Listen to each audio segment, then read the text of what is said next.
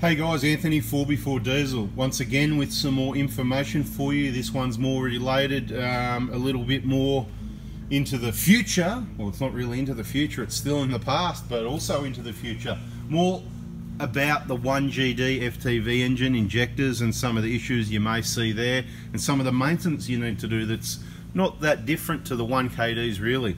So first, let's have a look at the injectors. Here we've got a brand new genuine set of injectors for a 1GD FTV, which is going to be replaced shortly. So if you're into that sort of information, subscribe, turn the bell on, because then you won't miss out on it, right? If you like the information, hit the like button so we know we're doing the right thing. Uh, so some brand new injectors here, brand new genuine, just so you know, uh, these don't even come in boxes, these suckers, right? So some suppliers, depends where, where you buy them from, this sort of thing. We buy as much as we can, uh, possibly locally, uh, but where it's not possible, we'll get our stock wherever we need to. The key thing is that we're only going to supply you brand new genuine injectors, never remanufactured, other brands or any other counterfeit stuff that you may get elsewhere. If it's too good to be true, it's probably because it isn't, right? So brand new, let's just have a quick look. So one of the main points, you know, with the 1KD, there's a seating washer now let me grab one of the seating washers that came with this and you'll see it is almost I haven't checked the part number this these seats always come with injectors okay they look identical to what the 1KD FTV and I've never bothered checking them they may be different but I'd go as far as to say they're going to work if they are different might be a different part number same product just going to have another look at actually. The pot, there's a possibility they may be thicker, and they'll be. They are a bit thicker. There'll be other videos. I haven't analysed this stuff yet, right? We're going to get really good at this. We're not as good at this as we are 1KD stuff because 1GDs are newer, and we're going to get a whole heap of information experience under our belts before we come out and tell you absolutely everything like it's it and that's it, if you know what I mean. So it's not it and that's it at the moment. The injectors come with the seats. They are different to the 1KD seats. I reckon you could probably interchange them and get away with it. I'm not saying you should do that, I'm just saying from experience, that's what I believe. Now you can see the bottom of the injector, similar situation with the nozzle, the seating area where that seating gasket seat, they call it a sheet, where it goes, but sheets are just confusing. You're gonna think you're in bed or something if I start talking about sheets. Right, you can see the nozzle, the cap nut there, right? That's the cap nut. You can see, oh look, oh, oh look, it's a slightly different, but look, there's an O-ring there. What do you reckon that might be there for? You know, anyway, There'll be more videos explaining the scenario here, but the same scenario as, you know, 1KDs, this seating washer probably ain't going to last forever and it may last longer because there's new engineering, there's new technology, things have changed.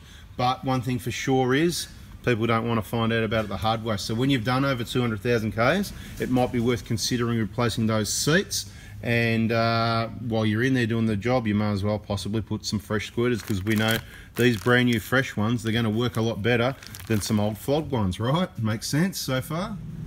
We don't see a lot of 1GD FTVs a little bit of service here and there mainly to our workshop partners. So we don't actually keep all this stuff in stock at this point in time but things change right? Obviously as the years go by mm, what's going to happen? We're going to see more 1GDs more people that want to replace those little seating washers because you know they realize they're not going to last forever. And you may just some people may choose just to put those in there. It all depends on a matter of I suppose budget whether you replace the injectors while you're there because you go mate they've done over 200,000 Ks. Excuse me. Dry throat mate. It's bloody windy. It's hay fever as well so I'm probably going to cop that again. So what I'll do I'll grab a bottle of water. Here we are. And keep that handy.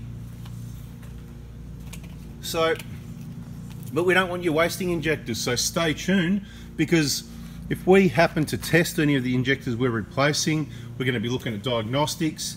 And if we think it's a waste of time to replace the injectors, then we're going to say, stop replacing these, just pull them out, redo the seats, that sort of thing.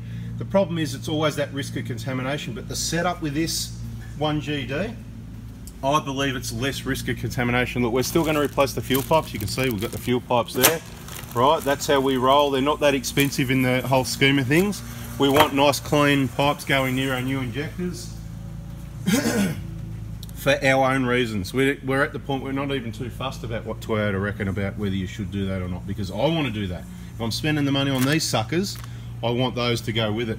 Same as we're going to have a look at the inlet manifold. We've got all the intake and EGR gaskets, all the little uh, washers and gaskets. There's quite a few here, probably some you can't see. There's the little fuel return line gaskets.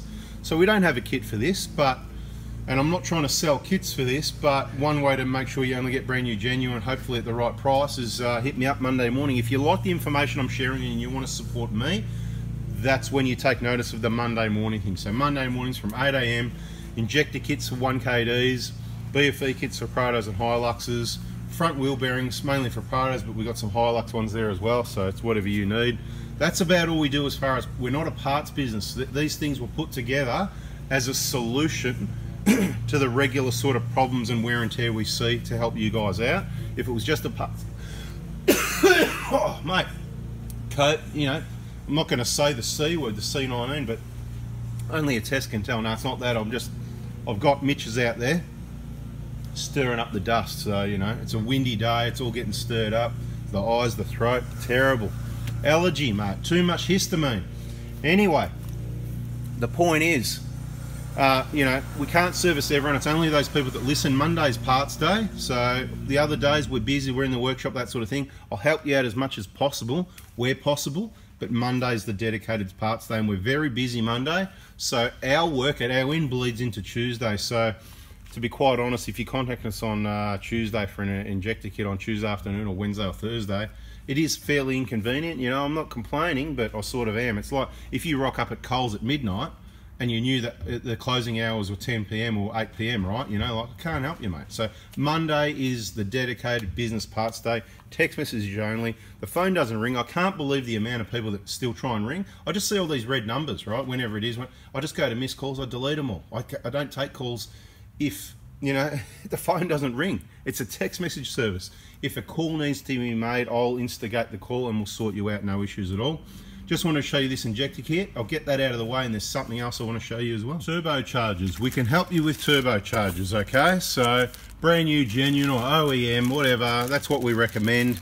Um, look, we got we also put in the uh, turbo kit, so all the parts we get, we, we have a look, we open up, make sure everything's check everything, make sure there's no damage. We repack it. This isn't going to get sent to anyone like this banging around in a box that's too big for it. We will put extra padding in there. The gasket kit will go into the box one way or another. Now, people are going to ask the price. Well, it varies depending on VIN number, which turbo exactly. I'll tell you this, I've never had a turbo that's been more than three grand delivered to your door with the kit. So you can save some money because a lot of the turbos about three and a half plus fitting and all that sort of thing. Um, some of them, they all vary a lot, right? So if you need a turbo, if you're going to shop around, do that first. Come to me last. If you're getting quoted higher prices, I'm going to try and I'll probably most likely get it to your door. Somewhere under three grand is all I can say. I've never had more dearer than that.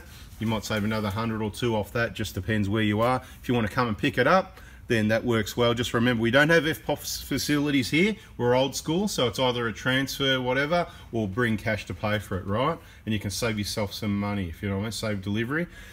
All right, so if you're local to, you know, the, the areas that we operate from, so that's your turbo we can help you with that same thing if you can mondays but look it's you need it when you need it so if you're desperate for parts and you can't wait till monday then hey give me a try if i'm busy on the tools and i can't get back to you for hours or the rest of the day or because it gets buried with messages of similar people i apologize in advance I've dedicated Monday for parts day. So if you want to get your parts, definitely I'm going to help you out Monday. And I apologise if I miss you, but at the end of the, the end of the day, I go through and check all the messages, and by that double, triple checking, generally we get everyone sorted. And I did have one of those uh, this week on Monday at five o'clock where I went, hey, I missed one, and you know I texted him then. He sent the order, he sent the payment, bang. It was all packed and sent Tuesday anyway, so no dramas.